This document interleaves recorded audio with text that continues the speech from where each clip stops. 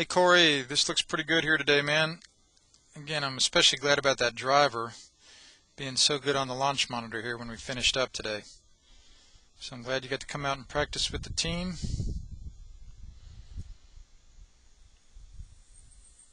So just a little bit above it there. And then from this face-on angle, just a little longer than we'd like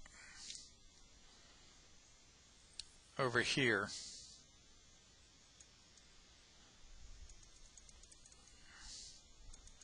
with that iron, the length of the swing. And again, the good news is there's no jump with your feet through impact there, just like we see over here from this angle. And then the next swing, the driver again, we saw the feet on the ground pretty well.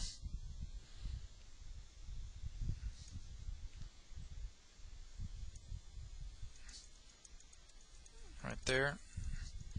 Front foot on the ground pretty well, the back foot's not, but the more important one for you is that front foot on the ground. Pretty well through impact, just a skosh above it, ever so slightly above it. Nothing to worry about there. And then from face on, again, that driver's maybe just a little longer than we'd like to see it.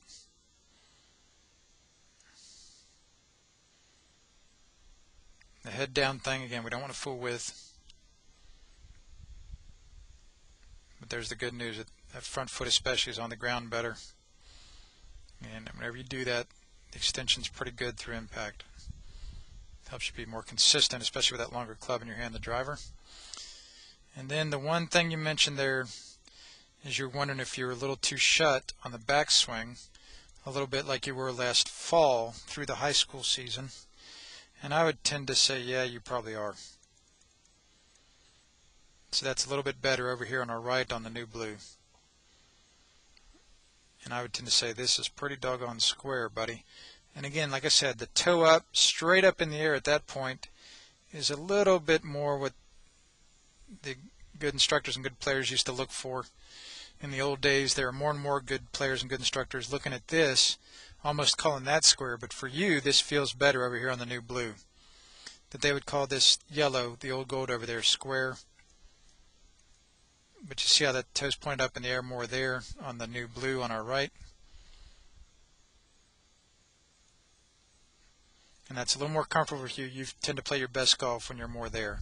And you got it on the plane line, interestingly, a little bit better when you hinged it a little better on the backswing. So I like that, man, on the new blue over there on our right.